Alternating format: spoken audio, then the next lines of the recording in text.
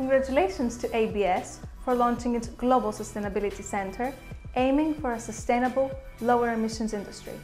Mr. Dimitrios Alexopoulos, Managing Director of Orpheus Marine Transport Corporation, will make the introduction. Good evening, ladies and gentlemen. Over the last two decades, the global community has been focused on climate change. Global regulations aiming at preventing pollution and protecting the aquatic environment are already in place, such as the IMO 2020 sulfur cap, and ambitious goals have been set for up to 2050. The international shipping community is facing a critical challenge make maritime sustainable. Vessels need to become more efficient and less polluting. A concerted effort by all industry participants must take place, primarily focusing on research. The key areas of interest are vessel design optimization, future fuel development leading towards decarbonization, and adoption of digital technologies to increase operational efficiency. Industry participants and stakeholders need to understand the complexity of the unfolding framework, not only in terms of new regulations, but also technological advancements and investment opportunities.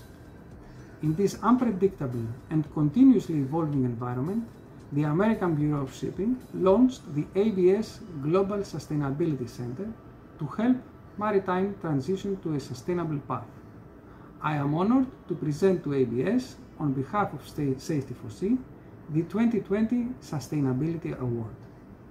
Thank you. I'm Georgios Plevrakis, Director of Global Sustainability for ABS. Everyone at ABS has been working hard to ensure we're able to play a full part in meeting the industry's decarbonization challenge. Achieving a sustainable footing for our industry is the biggest challenge of our generation, and we are scaling up to meet it. We have opened sustainability centers of excellence in key shipping locations around the world to create a unique network that means ABS is able to offer experienced local support in all of the critical maritime sustainability disciplines wherever it is needed most. And this is urgently needed because our research has identified a gap between the industry's decarbonization ambitions and reality. Shipping will not be able to meet the IMO's 50% reduction targets in greenhouse gas emissions unless we accelerate our efforts.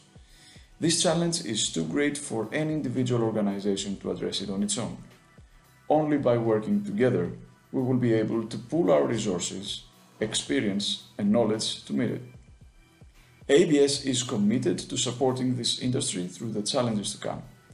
And this award is recognition that we are going in the right direction. And this is fantastic. Thank you. Thank you.